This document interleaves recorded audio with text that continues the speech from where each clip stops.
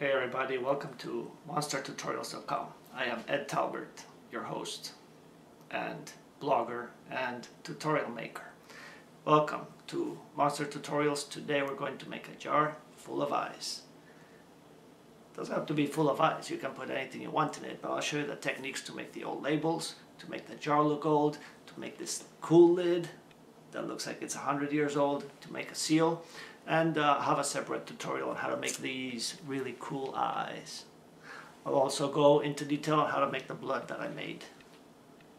All using just easy stuff like glue and coffee and coffee grounds and printer paper. Really easy, stick around. For today's project, we'll need the following things. For a jar of ice, we need a jar. This is just a plain old olive jar. We need something to put in it, so we're going to use eyes. These eyes, I have a tutorial at monsters monstertutorials.com slash eyes that shows you exactly how to make these guys. We're going to put these in the jar as our medical sample. Some glue, different kinds. I have clear glue, which I'm going to use to make some blood with. I have some Mod Podge to cover uh, the jar inside and out to make it look a little bit older. Uh, we're going to need some labels. So I made these. Uh, in Excel, actually, they can be done in Word or any other uh, you know, text editing software. Uh, if you really like these and don't know how to make them or find some on the internet, just shoot me an email. I'll send you this template.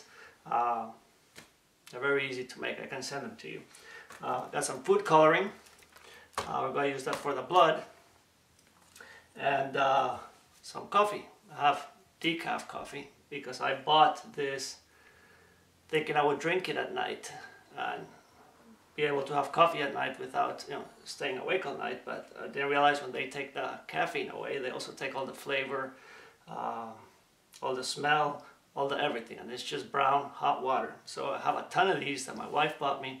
We're gonna use these to uh, make the labels antique, to make the jar antique. And finally, to rest the eyes or your medical sample, I'm going to use a piece of gauze. This piece of gauze is going to sit inside of the jar with a little bit of blood. It's going to be antiqued with the coffee so it looks nice, dirty, grungy, like it's been sitting in the, on the shelf of a lab, mad scientist lab for many years, or mental institution, or a research hospital, or even a anthropology department at some obscure university. That's what I did the labels on, uh, Brookside University. Okay, so let's get started. Let's head downstairs to the coffee maker. Uh, we're gonna make some strong coffee, uh, unsweetened, so we can start aging the, the gauze. Okay, we're down here in the kitchen. Uh, I got a shallow pan. Coffee's brewing right there. And uh, while it finishes brewing, I'm going to cut the labels. Where are they? Right here. Going to cut as many labels as I need. I'm going to go ahead and dip them all cut them all out and dip them all so I have uh, extra labels. I'll put them away in a Ziploc bag and if I make any more jars with eyes or fingers or hands or whatever, uh, I can use those labels. So you can do a lot of labels in just one pass.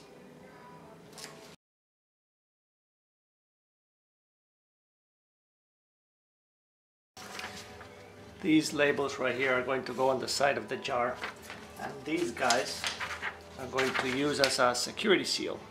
Uh, just choose whatever font you like. I like this one because it looks like it's from a typewriter.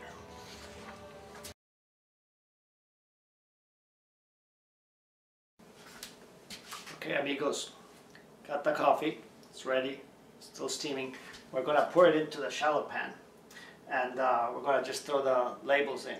Also make sure to save your coffee grounds because that will help with some of the aging of the labels as well as make the blood that we're going to make later a little more gory with little lumps and clumps and you know coagulated bits and pieces. So here we go.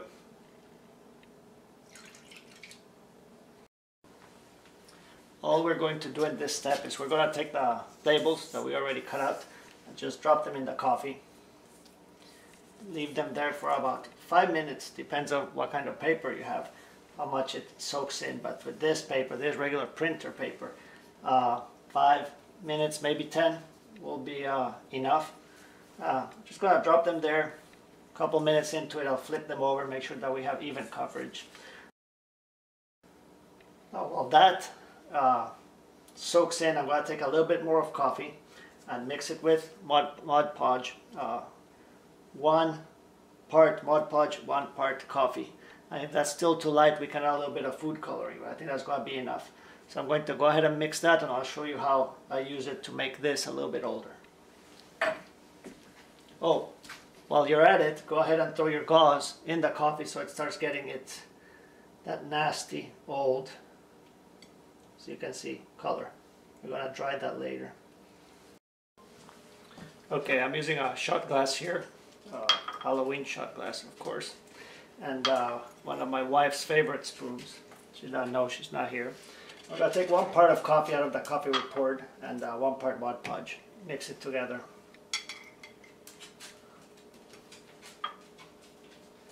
That little bit will go a long way because what we're doing is brushing the inside of the jar.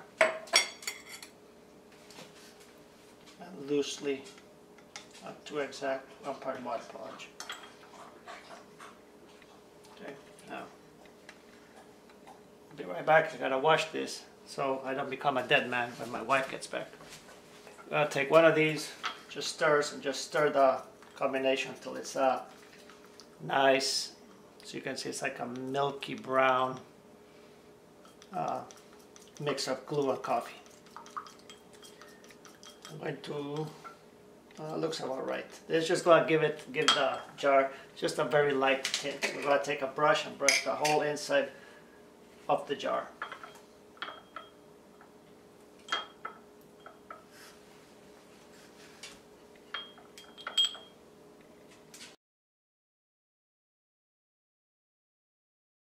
So we're going to put this here to dry and drain.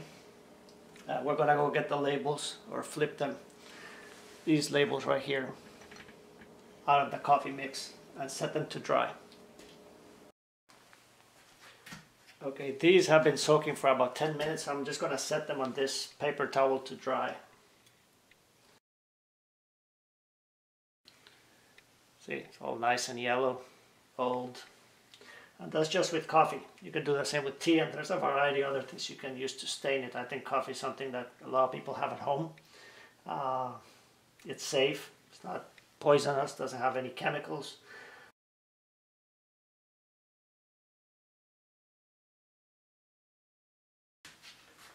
Okay, see if I can fit in this frame. We have the labels drying. I've flipped them over. They're almost dry. They're not quite there yet, but they took a nice yellow tint. As you can see, they're still kind of soft, moist. So we're gonna let those dry. Then we have the jar is drying, and now it's time to make some blood. So we're going to take a teaspoon of clear glue. Okay, just one. Then we're going to take some food coloring, and we're going to do five drops of red for one drop of blue. Uh, we'll make that in a shot glass, and I'll show you how in one second. Okay, we have the ingredients ready and the other thing I got was the leftover coffee grounds from our labels from the coffee which is brewed and we're going to use some of those to make that blood a little more lumpy and uh, disgusting, a little more realistic.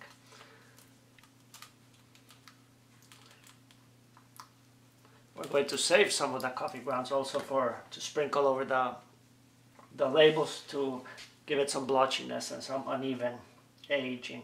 Uh, on the labels, we're also going to fold the corners and crease them. We're going to use an emery board. And I have a whole tutorial on how to do old paper, old labels, and old uh, uh, book pages. Uh, so I'm not going to go into huge detail, but, uh, but I'll tell you I'm going to sprinkle some of this coffee over the labels and maybe splash a little bit of uh, coffee, maybe a drop or two of blood, uh, of blood on the labels. so it looks like somebody maybe was doing an experiment had bloody hands or bloody gloves and touched the jar. So, like I said, there's going to be a special tutorial just on making labels. So for now, we're just going to put the coffee on it and sprinkle it. Now we're going to make some blood. So we're going to take the Elmer's glue, like I said, one teaspoon. This one will uh, dry clear, which is a cooler look although not as realistic because we know that blood is not see-through, it's not clear. Make sure I get a little bit more there.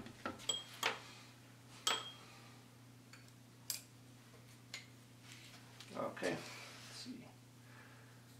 Some glue, all the glue in here.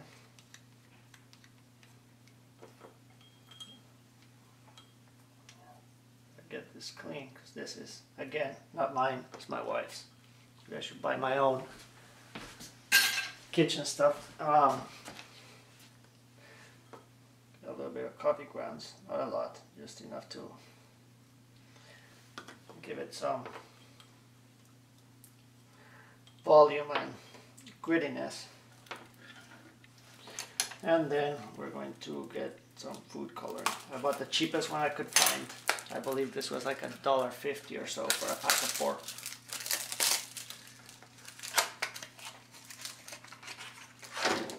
There you go. It's a beauty. So five drops of red. Don't get it on yourself.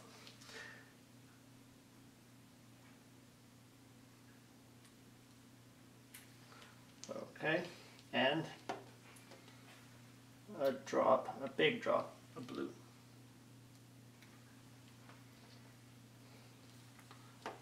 And all we're going to do is mix this stuff up. See if I, the camera can see the color, maybe you can't, but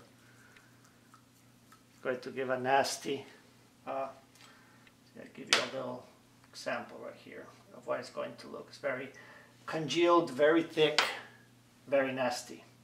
So we have our blood ready. We're going to set it aside. Uh, one thing I wanted to show you guys is uh, I have a tutorial on how to make these eyes.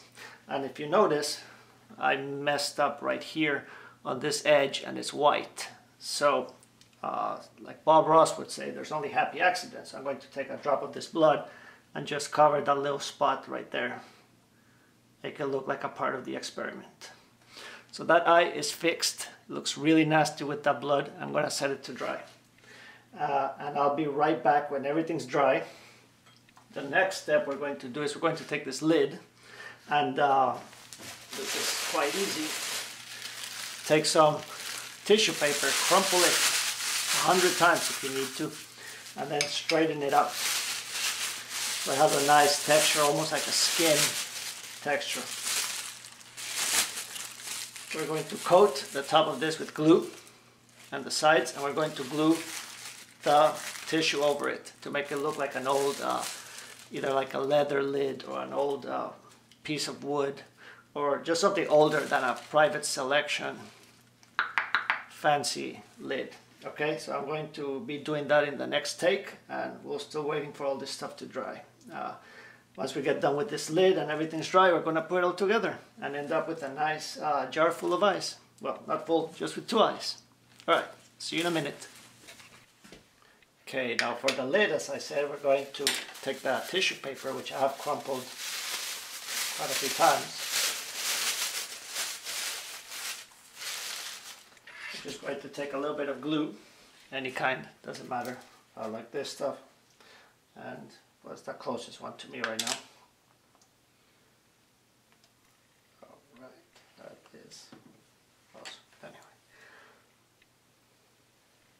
What we're going to do is just cover the lid, all of it, with glue. I'm going to cut this tissue into a more manageable piece that covers the, the lid.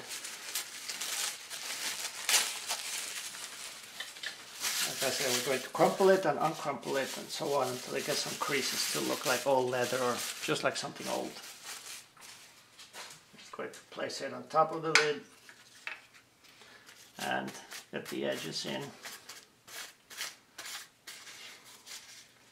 And start folding them in. You can leave it like that, but for a additional layer of protection, what I do is just get some more of this glue and just go on top.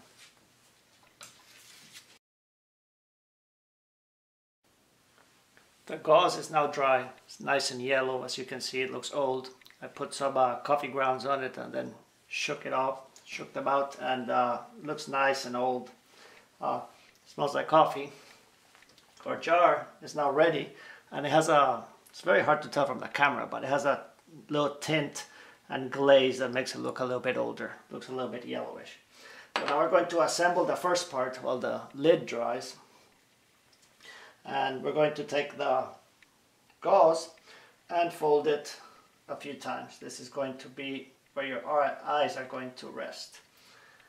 So something like that.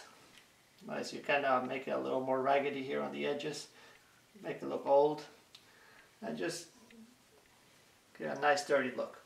And the first thing I'm going to do is a little bit of the blood and put it on the bottom. This is going to hold it in place so that we can, uh, that on the bottom is glue by the way, so it's going to dry clear. Just put a few drops of it, almost as it has you know, seeped through the gauze. This will hold the gauze in place. Once we set it in, uh, you'll be able to move this prop around without the eyes and the gauze flopping all over the place. So yeah, pick a spot that you like that looks good. I'm going to place the eyes in here. So we get our eyes and we're going to put a few drops of blood on the gauze and on the bottom of the eye.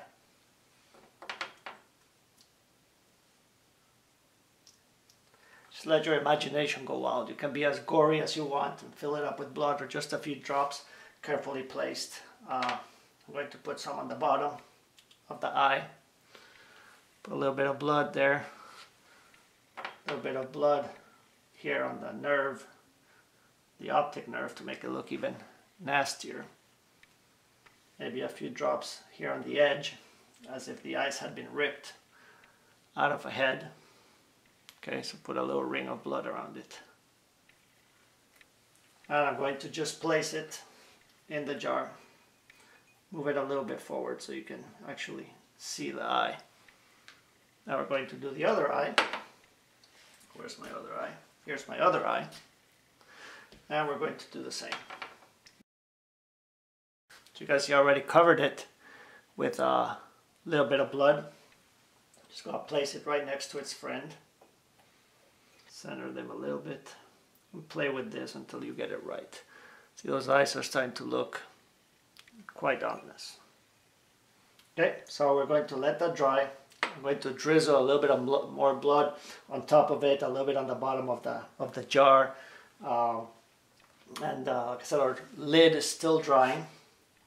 And our labels, you see if I can pan here, the labels over here are uh, almost done that that you see on top is coffee grounds. So we're going to take that, shake those off, take one label, put it here on the bottom, put one on the top. So I'll be right back. Okay, in this step we're going to take the lid, it's already, the tissue has glued, uh, was glued and is dry now. So we're going to just cut the excess off. But for now I'm going to start with a coat of just uh, plain old house latex. This will give me a nice rubbery thick coat that will cover all this look and it will take the this texture uh, really well. And after that we're going to do our famous dry brushing technique which I explained in the corpsing video. So let's get started with this. Right, so this coat is ready. I'm going to set it to dry and then we'll start with that dry brushing we have coated the, the lid, the jar, with uh, black latex and it's now mostly dry. There's still a little bit of um, paint on it. Uh, and now we're going to start that dry brushing technique. What we're going to do is we're going to start with the darkest color, which is this, uh, what is it, burnt umber? Yeah, burnt umber. And we're going to apply it. And uh, the way this works is uh, the first coat is not as dry. It's going to be a generous, it's still called dry brushing, but we're going to start with a lot of brown. And then as the coats get lighter, then it becomes a drier brush. Then it really, really, you barely get any paint on it. And all you do is uh, touch the high points as you get lighter and, and get the, the dimension and depth of the paint. Let's get started with that. I'll start with uh, burnt umber for the first coat.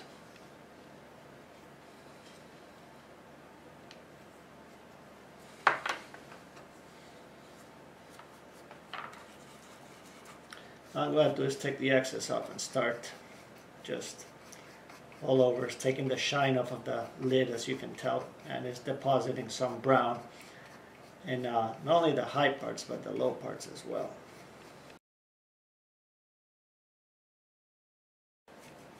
Right, so this lid's starting to look much more brown. Uh, looks like an old piece of something, not like a jar of uh, olives, like the lid of a jar of olives. Uh, I'm going to start lightening up the color with a little bit of uh, ochre, yellow ochre and green. I'm going to mix both and do a very light uh, dry brushing. Then if I need to at the end, if I still want more dimension, I'm going to add some white.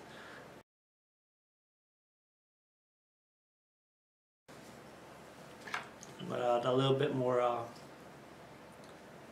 yellow ochre just to tone down the green because that green is pretty bright. It almost looks like an incredible Hulk green. I'm not sure if you can see it on the camera. But uh, there's a little bit of green a little bit of bright green on it. So I'm going to use this yellow ochre and uh, kind of just tone it down a bit with a touch here and there. Okay. That is our lid with that dry brushing. You know, I'll try to turn it and put it against the light so you can see uh, doesn't look like a you know olive jar anymore. Okay, so we've assembled the jar. We are going to apply the label now and all it is is uh, glue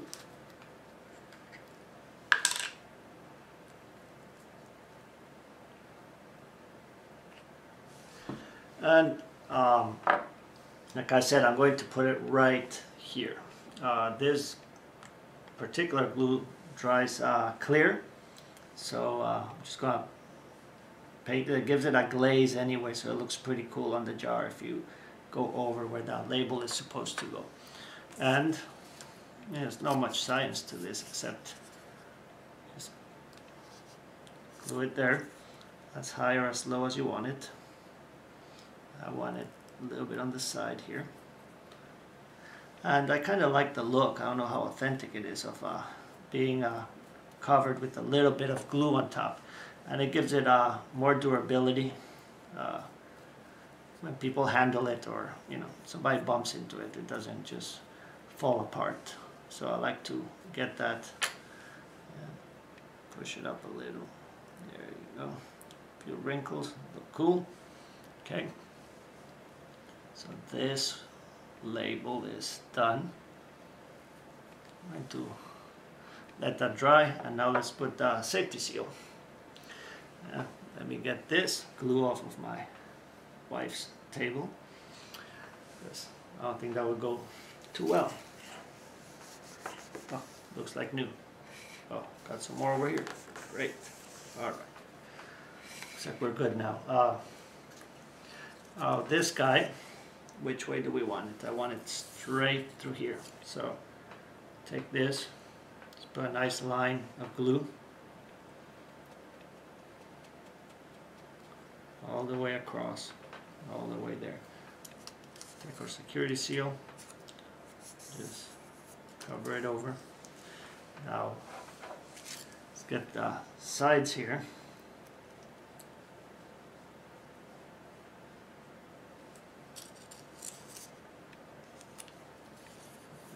Go. I think I'm going to fold this one all the way under. So there. Put a little bit of glue on top. That helps it stick a little bit better.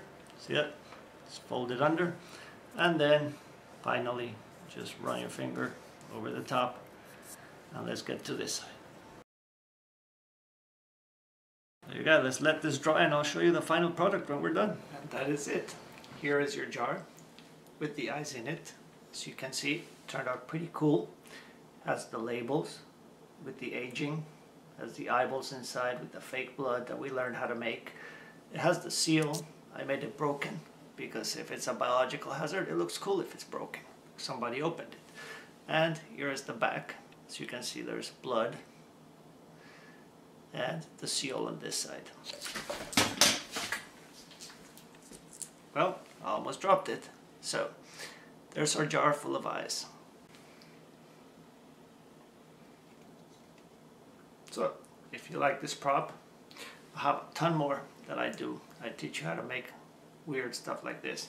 Uh, so go to my website, monstertutorials.com, sign up for the email. So when I come up with a new tutorial, like uh, eyes or hands or how to make a spell book or how to corpse a skeleton, you'll be the first one to know when you get that email that says, hey, check out my new tutorial, okay?